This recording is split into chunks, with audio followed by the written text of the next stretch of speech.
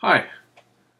Well, first thing I'm going to do with this little video is give a plug to iShowU HD, which is the software that I'm using for this screencast. It cost me about 40 Kiwi dollars, which is about $30 US, and for that I can install it on both my iMac and my MacBook. So very good value, I reckon.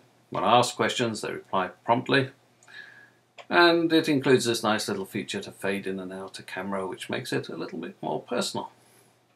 Um, of course, you can see I'm a bit overweight and my hair's thinning somewhat, so, well, maybe not such a good idea.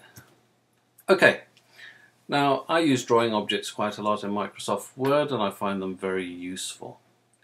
Uh, when I do a diagram like this, which has a number of parts with lines and text boxes, then I often want to group them together so that I can then move them or copy and paste them easily into another uh, document or maybe into PowerPoint or whatever.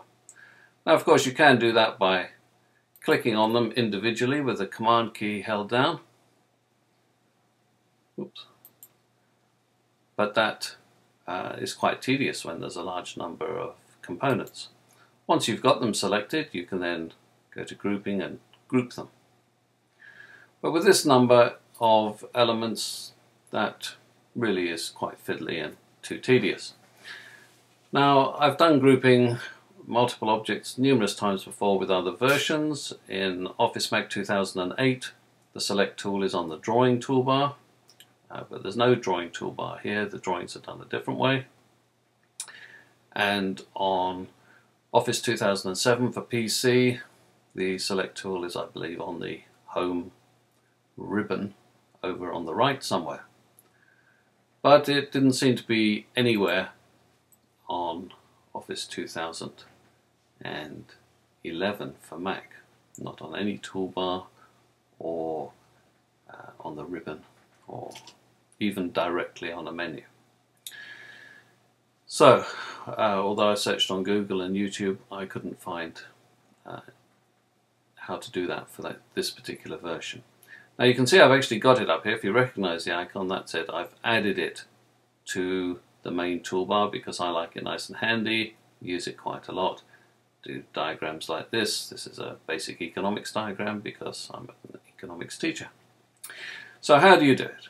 Okay, view, toolbars, Customize toolbars and menus.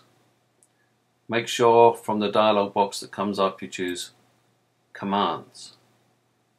Then you've got to go down and find that select tool. It'll be shown as an icon here and with a name. So let's go down, it's somewhere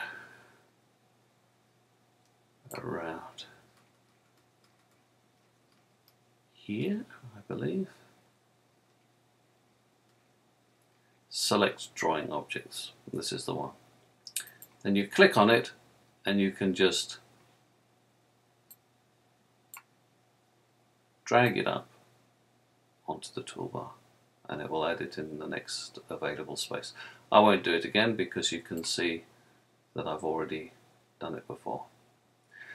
So a bit fiddly but doesn't take too long and you can put it in a place where it's nice and convenient. Okay, well. I hope that was helpful.